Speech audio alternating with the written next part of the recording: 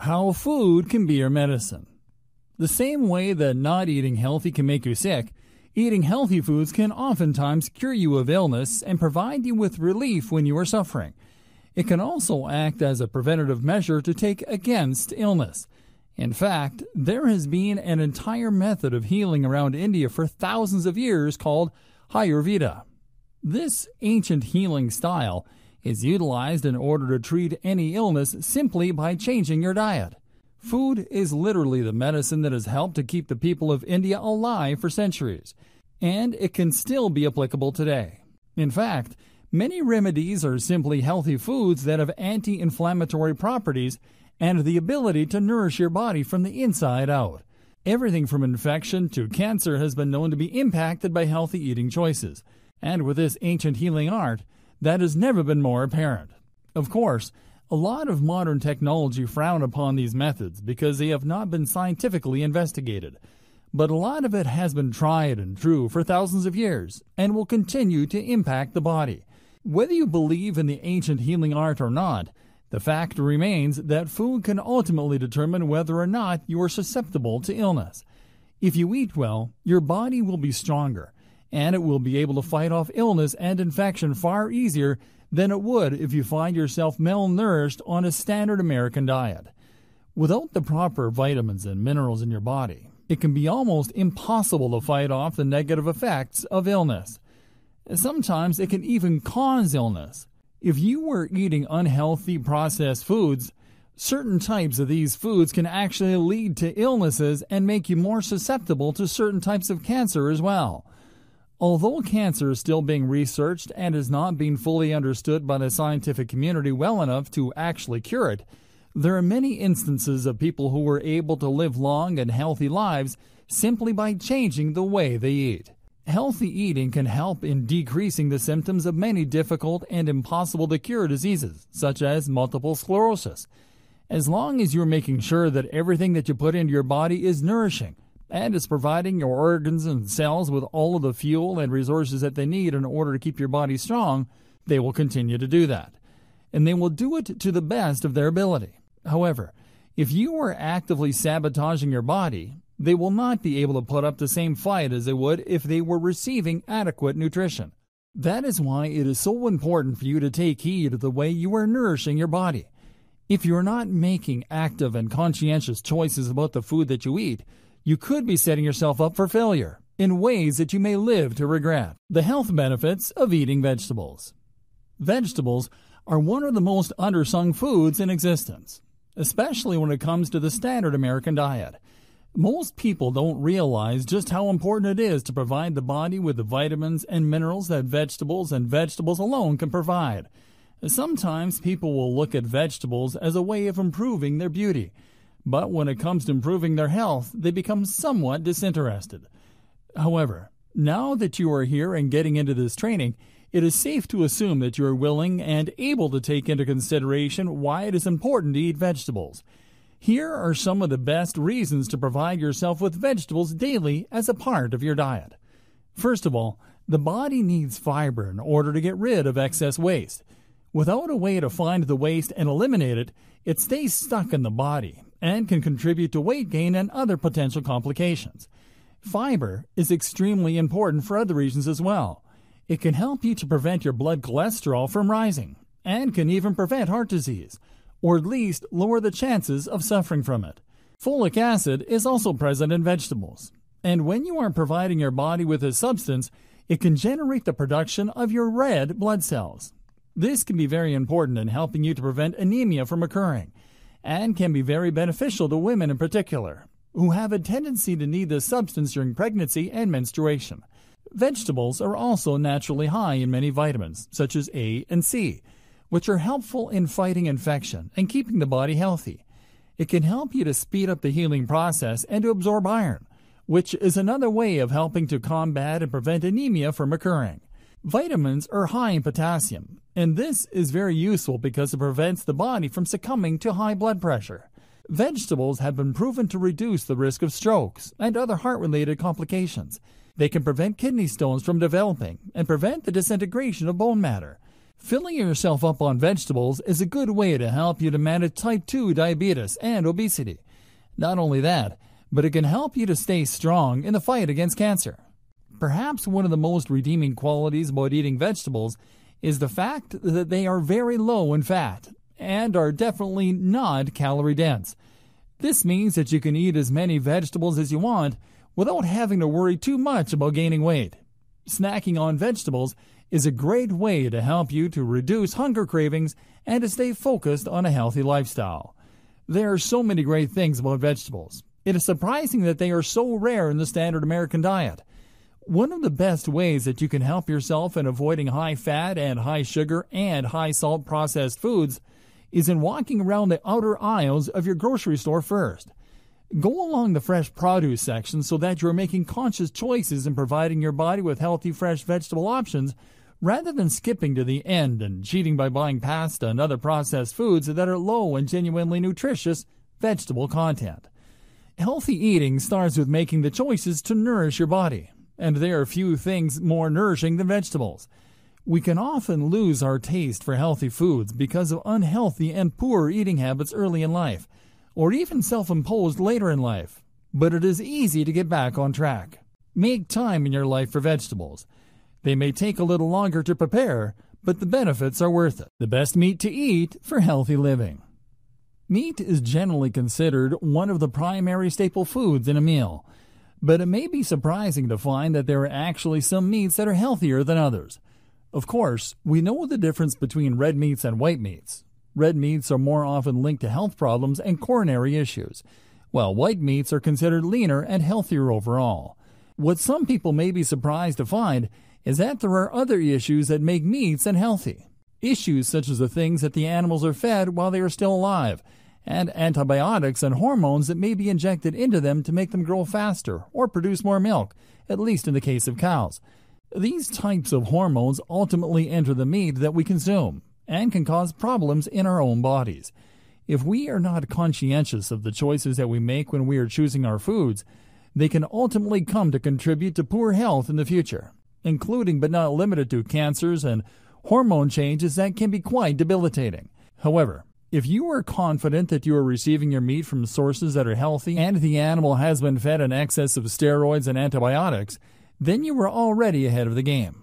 If not, try to do some research about local places where you can receive meat that is untainted by some dangerous industry standards.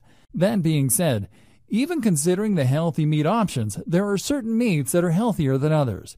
One of the healthiest meats that you can eat, especially if you are hoping to lose weight, is fish. Fish is lean and packed with nutrients. However, you have to be careful about the source of your fish. Some fish is raised in unhealthy conditions, while other fish may come from areas that could be contaminated with mercury. This is why it is frowned upon for pregnant women to eat fish or shellfish. But if you find a healthy source of fish, this can be very beneficial for your body. Fish is high in omega 3 fatty acids, which helps brain function and your memory. Overall, omega 3s are highly coveted, and the body needs them in order to function at its highest possible potential, especially when it comes to intellectual matters. Chicken that has been raised in a good environment is another great option.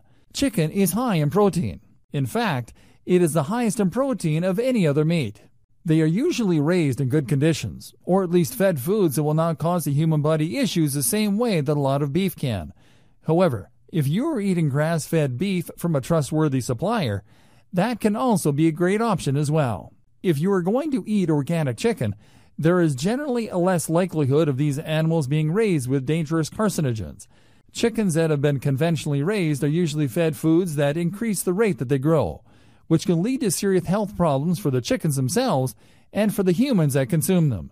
They are also given a large supply of antidepressants and painkillers, sometimes even arsenic and caffeine. It is dangerous to consume a lot of conventionally grown meat, but if you are able to find a good supplier, then you definitely should do so. Turkey is another great meat because it is high in selenium. This is something that is great for the body especially because it can help to eliminate free radicals and other toxic substances. Again, though, you want to try to make sure that you are receiving your meat from trustworthy sources. Because it is standard for conventionally grown chicken and turkey, to be treated similarly and fed dangerous chemicals that unnaturally increase the rate of growth and ultimately contaminate human bodies with those chemicals.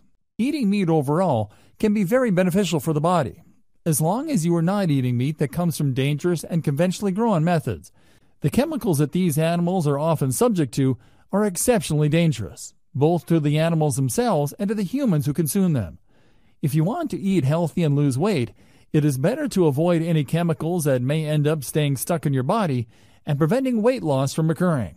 Even if you are not hoping to lose weight, eating healthy includes avoiding anything that could be dangerous to the body, such as the hormones and chemicals that are disruptive to our sensitive systems. Fortunately, there are many sources for healthy meats, whether you want to indulge in chicken, beef, or even lamb. There are ways that you can get healthy, ethically raised meats to satisfy any cravings you may have. The dangers of processed foods. It does not come as a surprise to anybody that processed foods are dangerous. What does come as a surprise, however, is that they are still allowed on the shelves, despite the havoc that they wreak on our bodies and minds. Eating unhealthy food isn't just a personal choice to some people. Sometimes, because of the way the economy works, People in poverty are forced to turn to processed foods because they are cheap and an easy way to feed large families on a low budget. The hard thing about that is that these foods ultimately cause medical problems down the line that cost even more money than it would take to feed a large family healthy, sustainable options. Ultimately, it seems that people with little money are suffering either way. Even if you don't have to feed a family on a budget, processed foods are simply unhealthy. Part of what makes them so addicting is their high fat and sugar content. They are often boxed meals that include pastas and an exceptional amount of sugar. Excessive sugar is dangerous in general, but especially to people who are prone to developing type 2 diabetes. If you consume sugar in high amounts, you are ultimately going to overload your body. And not only will you more than likely become obese, you will also develop health issues. Sugar can help speed along the process of diabetes because of the fact that it causes insulin resistance to occur, which ultimately makes it difficult, if not impossible, to control your blood sugar levels. If you eat foods like this excessively, such as for every meal, or at least every day, there's bound to be a negative consequence. Consuming that high amount of fat and sugar on a consistent basis can lead to not only diabetes and obesity, which are commonly known, but also heart disease and even cancer. This is especially dangerous and if possible, processed foods should be avoided at all costs. Another danger of eating processed foods is that not only are they addicting, but they are highly artificial. Most of the ingredients in those foods are not nourishing the body. Rather, they are leading us to feel full while depriving our bodies of the essential nutrients that are required in healthy functioning. When we are eating a diet that is bland and non nourishing, we are ultimately allowing ourselves to be dumbed down we are not thinking properly, we are not moving properly, and we are not functioning at our highest possible potential. All of these things are highly damaging and can lead to poor coordination and even depression. On some level, we all know that processed foods are not as healthy as the types of foods that we should be consuming on a regular basis. Our bodies know it, even if our minds are not aware of it, and we suffer for it. We have stress about it. When we indulge in unhealthy foods, whether we are addicted to them or not, our bodies know it. And whether it's a subconscious occurrence or not, we often punish ourselves. We know that we're doing something wrong. We feel upset about it and dissatisfied, even if we are processing it in the moment. Processed foods are also high in artificial coloring. That has been proven to be highly carcinogenic. When we are eating foods that have fixed coloring in it, we are essentially swallowing dye. Would you want to eat hair dye? Not really. But these types of chemicals are what are used in your food. They stay in your body and do not come out. They dye your organs. They are highly dangerous and can lead to cancer. They are also full of preservatives. Processed foods stay on the shelf for a very long time, longer than is healthy and normal. Any typical bottle of milk would not last for months on end at a time. It would curdle and spoil. The same goes for cheese and other foods that you find in the shelves that have long shelf lives. Shelf lives are important for companies to establish because they are able to make more money if their food is able to stay on the shelf longer. They will do whatever it takes, whether it is healthy or not to the human body, to ensure that they are making the most money possible. Preservatives often include unhealthy and unnatural chemicals and excessive amounts of salt, neither of which are good for the body at all. Processed foods can lead to issues with the heart and hypertension because of the excessive amount of salt present in these foods. High blood pressure is a common occurrence among people who survive off of processed foods, and obesity and heart attacks are some of the number one killers in North America. This has absolutely everything to do with the standard American diet. The sad part about it is that even if you know it is unhealthy, the chemicals and high sugar and fat content make these processed foods extremely addicting. The body begins to crave them, and it can be almost as dangerous as a drug addiction. When you are addicted to a food that is neither nourishing nor healthy, it can have long term consequences on your health and development. Another way that processed foods contribute to obesity is because we digest them far too quickly compared to foods that are rich in healthy dietary fiber. If we are digesting these foods quickly, and they are not filling us up because we are not receiving the fiber that provides us with the full feeling, we are not even burning the same amount of energy as we would to digest healthy foods. This means that we eat more and digest less, leading to fast and rapid weight gain. The calories present in your body are much higher when you are on a diet of processed foods. You burn far more calories when you are eating healthy, whole foods that are rich in dietary fiber. Unfortunately, this means that people who live and subsist on a diet of processed foods are ultimately going to gain weight whether they want to or not. And they will not provide you with the same amount of energy because they are not nourishing. They are likely to leave you tired and sluggish and feeling far too full because you eat a lot more of these unhealthy sugar filled foods without feeling content. Processed food is not metabolized properly in our bodies. They are quickly turned to fat. Not only that, but they are high in fat. They are often full of hidden fat and sugars. Vegetable oil is one of the primary ingredients in many of these processed meals, along with things such as high fructose corn syrup, which is a huge culprit in weight gain. If every processed food on the shelves contained high fructose corn syrup, and most of them do, it is no wonder that North America is facing the worst obesity epidemic in world history. Hydrogenated oils are highly unhealthy because they do not break down. They remain in your body and become merged with the fat cells. These oils make fat far more difficult to burn off. They are harder to get rid of, and that type of stubborn fat can lead to obesity very quickly.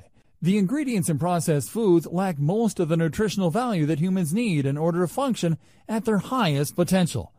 We need the fibers and the vitamins and minerals that are present in real food before we can truly thrive. If you find that processed foods can't be entirely avoided, they should be at least be eaten in moderation. They are dangerous.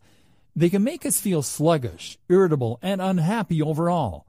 Our dispositions can go from positive to negative when we go from a healthy diet and ultimately find ourselves consumed with nothing but processed foods that are too sugary, too fatty, and too unhealthy.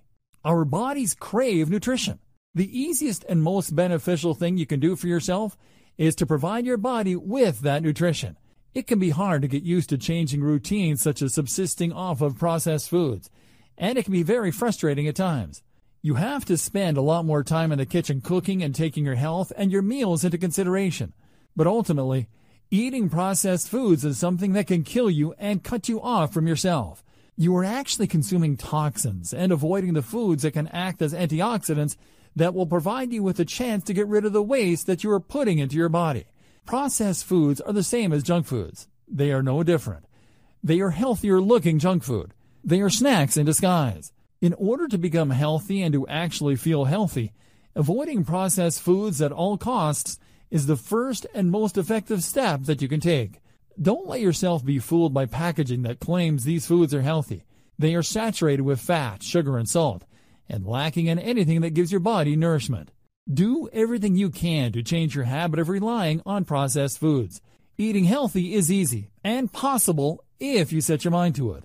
Just remember the strategy of walking around the grocery store to pick up the fresh produce and meat, as opposed to walking through the aisles that are full of dangerous and alluring packaging that is hiding the dangers of the processed food within. Introduction For some reason, one of the hardest things for a human to do is to eat right. Whether that is because we have limited access to resources in all areas, or if it is because simply we have too much access to unhealthy food, there are many reasons that eating healthy is a challenge.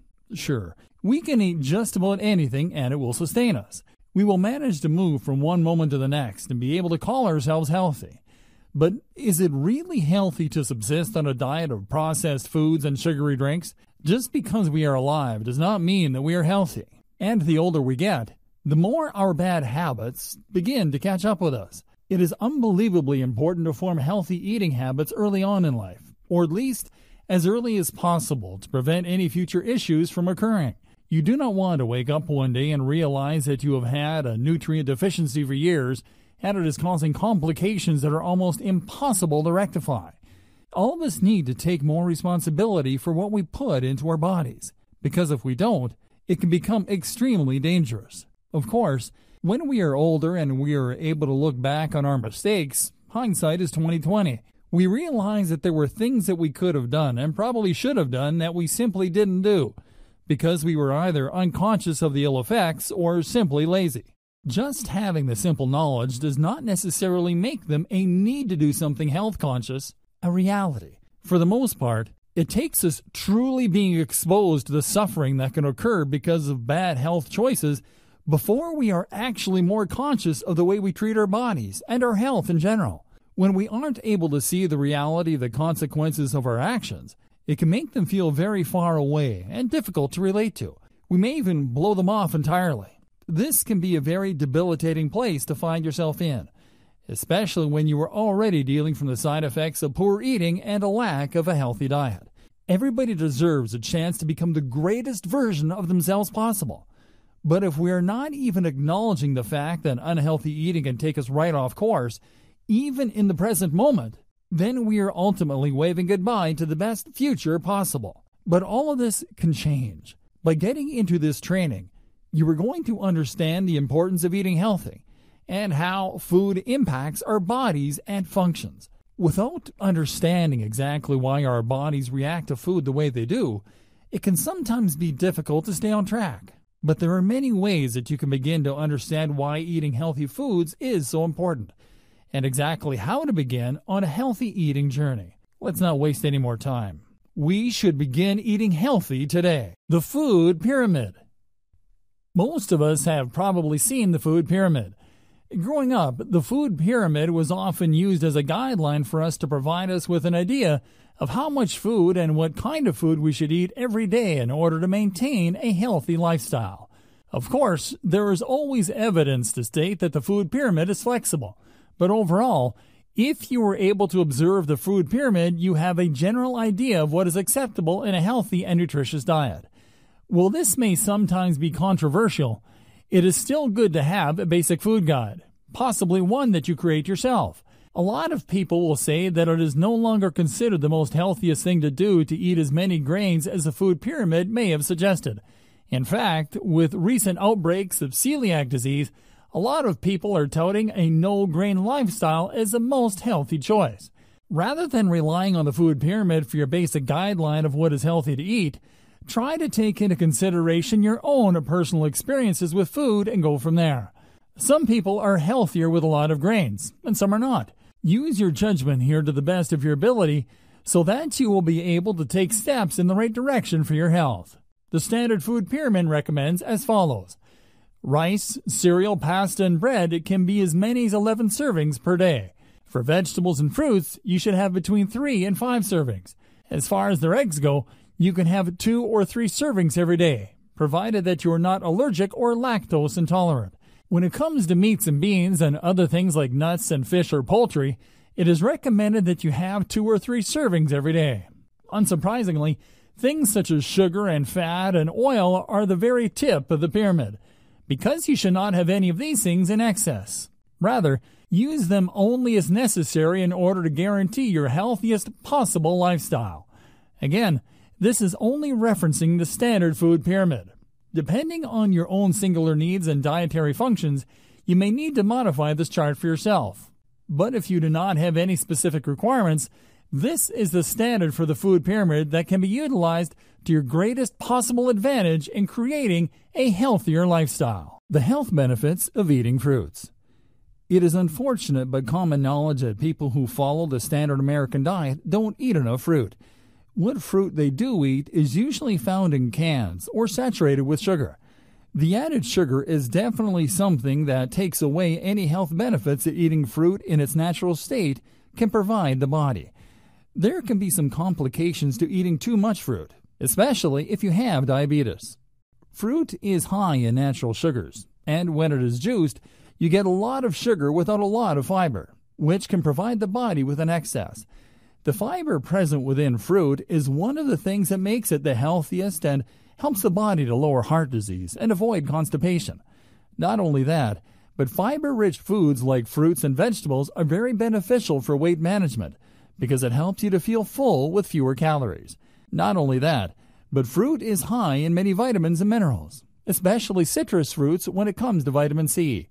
Vitamin C is a powerhouse when it comes to helping the body to heal. And if you need something that will help you to keep your teeth and gums healthy, vitamin C rich foods will definitely do the trick.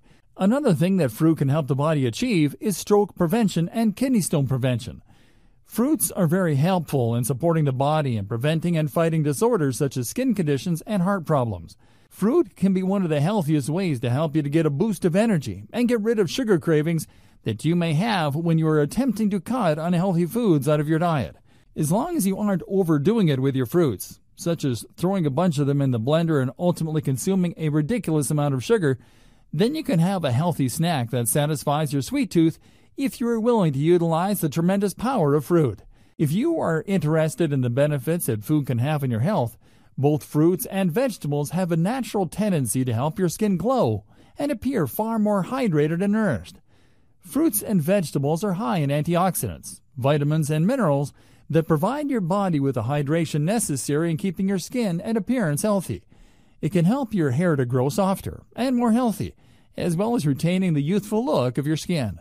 Fruit can even help you to stop acne in its tracks by keeping your body free of waste products that come out through your pores and hydrating your skin. Fruit is excellent for helping the body to stay hydrated because of its high water content and you will quickly begin to see the benefits of that aspect. Not only that, but fruit is particularly helpful for digestion. Because of the high fiber content, it helps to bind waste and help the body to eliminate things that might otherwise cause issues. Because of this, fruit and vegetables can also aid in weight loss. Rather than allowing waste to be broken down and stored as fat, the body eliminates it before it has a chance. Fruit is another great way to help you to fight and prevent disease, even cancer. Some fruits, such as apples, help to keep asthma at bay. Others can significantly lower cholesterol levels. Grapes have been known to be used in the combat of cancer as well, particularly the red skinned grapes. They are also helpful in fighting eye issues and kidney problems. If you suffer from infection, berries are especially helpful. They are high in antioxidants. Just make sure that you are eating fruits and vegetables that are not treated with commercial pesticides as your body can absorb these chemicals and actually complicate weight loss and cause issues in the body. You can even eat dry fruits as a way of substituting unhealthy and sugary snacks and providing your body with a sweet snack that will pack quite a nutritional punch. Just be conscientious of the sugar levels in dried fruits, because sometimes when they are commercially sold, added sugars make what could be a healthy treat into something that may ultimately help you to pack on the pounds. However, when you are eating fruit in a healthy way and on a regular basis, fruit can help to aid you in weight loss. As long as you are not overeating things that are high in sugar, the fibers and water content of fruit will help your body feel full and your cells and organs nourished. The fibers and water content will help you to eliminate issues that are contributing to obesity. And overall, you'll feel an immense shift in your energy levels. You can utilize this energy to exercise and work harder towards a healthy lifestyle. This can be especially effective if you are replacing sugary junk foods with healthier fruit alternatives as you continue to transition on your journey towards better health and well being. Bringing it all together with meal planning. Meal planning can be one of the single most important aspects of developing a healthy lifestyle. When we are unable to visualize the future of our eating, it can be very easy to succumb to the temptations of unhealthy foods that we have become addicted to, especially if it is our habit to eat them rather than eating the foods that will nourish us. Meal planning is quite an endeavor. It can be somewhat intimidating, especially to somebody who suffers with organization. If you find yourself having a hard time with meal planning, don't fret. There are many ways that you can begin to delve into meal planning that are fun and easy, whether you struggle with creativity in the kitchen or not. There are many meal planning kits that you can buy. Many of them have the option of ordering boxes full of fresh foods to cook with and include recipes that you can use. This can be very helpful if you are not used to cooking, which is often the case, especially when poor eating habits and a busy work schedule make it seem difficult to carve out the time necessary in order to make full, nourishing meals. The first step in meal planning is research. If you are going to get yourself healthy, you have to look at your options. Researching recipes is the best first place to start. Accumulating a binder full of healthy foods that you want to try out can be both fun and educational. It will open your mind to several food possibilities you may have otherwise scoffed at as too difficult for you to prepare, or maybe teach you things you had never known before. Recipes can be very mind opening, especially when you are interested in making new discoveries. Cooking can be a hard habit to get into, but once you begin to master it, you will be surprised by just how much freedom you can find in putting a meal together for yourself that is both health conscious and delicious. Look at recipe books and magazines and get an accumulation of recipes that you want to try. Start with the things that look the most delicious and nourishing. And if you are a novice in the kitchen, you may also want to look to things that seem the most simple. Next, you should keep your recipes organized in a simple way that is easy to navigate. If you find yourself overwhelmed by a lack of organization, it will make meal planning that much more difficult. When you are beginning a new habit, you want to make sure that you are doing everything as simple as possible. Too much change at once can be demanding on your system, and you should always try to implement small, easy changes until they have developed into a new habit. Make sure that they are easily accessible so that when you want to begin preparing your meal, you can do so easily. If you are using a binder, you may want to consider laminating the pages or using plastic sleeves, so that if you are using it in the kitchen, they are not affected by water or other food contamination. When you organize your recipes, it would help to put them in order of breakfast meals, lunch meals, dinner meals, and snacks.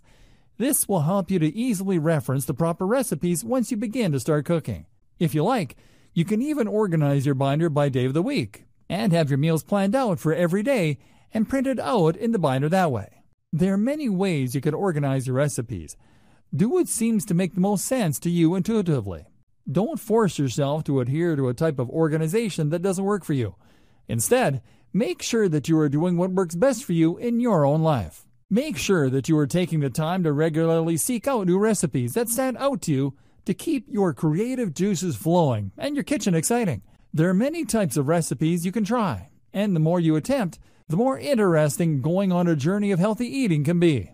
Next, you should explore software such as Excel on Microsoft Office that will help you to organize your meal planning. On Excel, you will find a plethora of templates you can choose from to help yourself plan your meals by the day, time, and week. This can be a hugely valuable resource. If you would prefer not to use Excel, there are also apps you can download on your phone or tablet or another device to help you to utilize your time and resources better. You can even go the old fashioned route and buy a notebook that is specially designed for planning meals. This is an important step in making sure your meals are organized and easily accessible.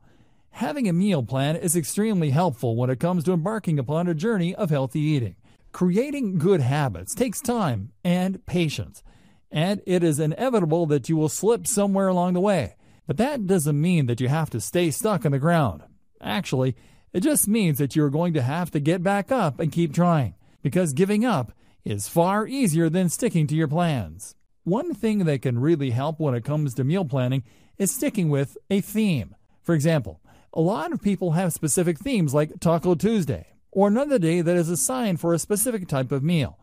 If you think that would help you to stay on track, feel free to adopt that type of meal planning. It is done for a reason, because it works and it helps to keep things simple and streamlined. It can be very annoying to find yourself stuck doing a lot of planning and preparation every single week or month. So, if you want to keep things easy, that can be a good way to do it. You could have a theme for bi weekly meals, such as Taco Tuesday one night and maybe rice and vegetables the next Tuesday and alternate between them. there is no wrong way to plan your meals. What you have to make sure you do is to follow through.